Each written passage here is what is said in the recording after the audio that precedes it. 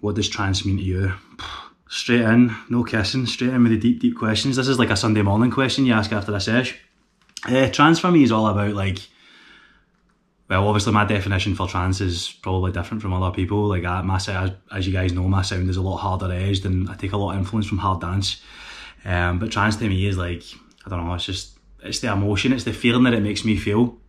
It's just that sense of euphoria and oh, it's, I don't know, man. It's like it's hard to it's hard to put into words. It's just it's the way it makes me feel that makes it so much more different than any other genre of music out there. Like I listen to everything, man. Like across the board. Like I listen to like metal. I listen to gabber sometimes. You know what I mean? Like uh, then I'll be listening to progressive, and then I'll be listening to tech house the next day. You know what I mean? So like yeah, trance is just trance is the only genre of music that really gives me that that feeling, that the, the goosebumps, the, the tingles. Like that's the only way I can put any words. Right, so the world is about to end and you're organising the last ever party. Which DJs would you book to play? Uh, in progression, I would, it would go something like Eli Brown, who's a tech house DJ, Grum, uh, Billy Gillies, Shugs, Renegade System, obviously looking after my mates, Scot Project, myself, of course. Last party ever, I want to play at it. Call me selfish if you want. And TNT, Hardstyle Legends. What is your greatest fear? Uh, well, being ginger, probably the sun, or going bald, which is also inevitably going to happen at some point soon. What is your earliest memory? I don't even know, man. I smoke that much weed that my brain is just mush. I've got no, I've got actually no memory. Uh, probably I was like three years old and I put like cream in my eyes.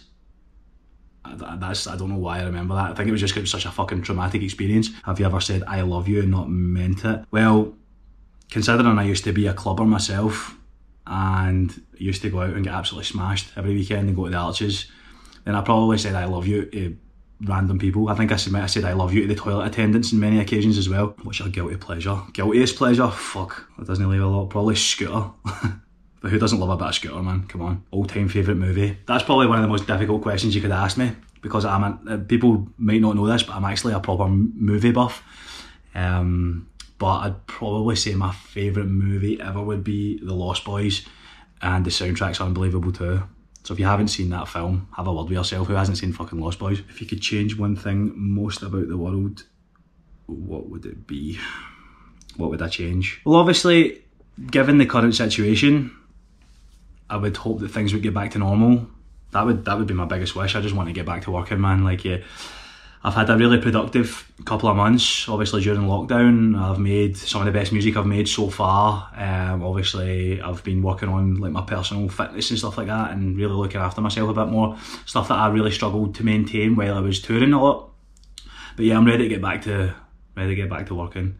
Uh, I just want everything to go back to normal. That's the only thing I would ask from the world at the moment and probably just chip in a little bit of world peace there, the old cliche answer. What is the most important lesson life has taught you? Probably that everything can be taken away from you in a heartbeat. Like I was just so comfortable in my life before all this stuff and like everything was going great and I was really, really happy and all that and then all of a sudden, boom, everything just changes and kind of feel like you're back to square one in a sense. So like never take anything for granted is definitely the life lesson for me. In a film about your life, who would play you?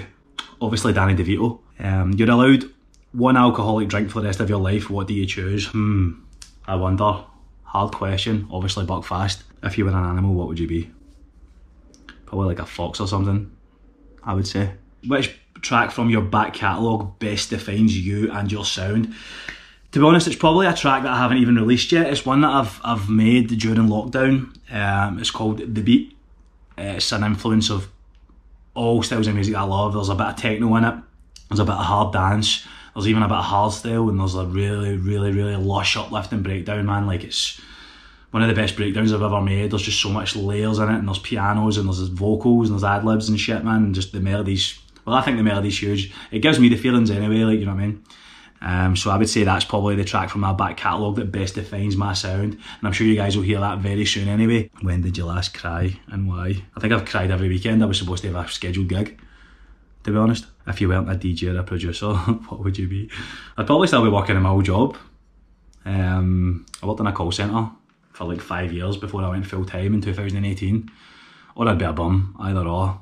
What's your favourite country to travel in? Oh, this is a minefield here. Um, every country that I've been to, I've, I've loved for different reasons. But for the sheer love that I get in return, it has to be Northern Ireland. Like, uh, like my popularity over there is just I just can't even I can't even fathom it sometimes. It's just insane, absolutely insane. Um, it's definitely my strongest market. But other than that, like notable mentions would obviously be Argentina because I absolutely love Argentina. I played in Argentina for the first time in December to become one, and it was a life changing experience, no doubt about it. Um, also Australia, I played in Australia last year for the first time in December, and it absolutely blew me away. Like I just love the people, and they love the harder stuff, which is obviously my thing. So yeah, that's the answer to that. Top three trance tracks of all time. An impossible question for me to answer.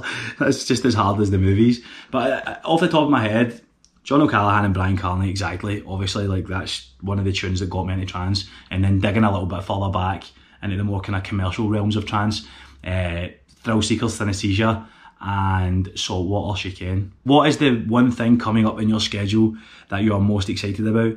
Just to get back to gigging, honestly, like I don't care if I'm playing to 100 people or if I'm playing to 100,000, which obviously would never happen probably. But um, yeah, I just really want to get back. I just want to get back to the lifestyle and I, I miss the travelling. Like I love travelling about, which is really unusual, but I'm probably probably after a couple of years of intense touring, I'll knock that out myself. But yeah, I just I just really looking forward to getting back to those moments and just like don't know, DJing with my mates and stuff and seeing my mates, like obviously like Shugs. I've not seen Shugs since February, man. He's one of my best mates. Like last year I seen Shugs bloody every month, at least once. It's just hard getting that taken away from me because obviously he's in Northern Ireland and I'm over here and then obviously you've got Renegade System 2 and Billy Gillies, they're my really close mates. Um, it's just crap, man, at the moment because we can't see anyone. But yeah, that's the thing I'm most looking forward to is just getting back to it, man. Just getting back to the grind and getting on with things, you know. Getting some music out. I'm kind of holding back and releasing the tracks that I've got because I feel as if it'll be like a drop of piss in the, the, the ocean at the moment, just due to the current situation. And it's not really fun getting to. It's not really fun releasing tracks when the promo's so thin because you don't have any decent gig videos and stuff like that. A final message for the dedicated trance fans on the Tranceportal. I just want to say thanks to everyone for all the support I've had over the years. Like I've got a really, really kind of unique sound and um, it's not everyone's cup of tea, man. Sometimes it's not really as emotional as a lot of the other trance artists, my kind of sound. Um, there's a lot of like harder influence in there, but I definitely feel as if in the future that's the way things are going to go. Um, I hope so anyway. So yeah, just thanks to everyone, the hardcore people that have supported me since day one and stuff like that. And, and obviously I hope to see you guys soon and I hope you all stay safe and look after yourselves and look after your family. I hopefully we'll meet each other on my dance floor soon. Thanks for Tranceportal for giving me the chance to have a little say, let me waffle on a lot of shit while I drink a coffee. Um, and I hope to see you guys again soon. Take care, guys.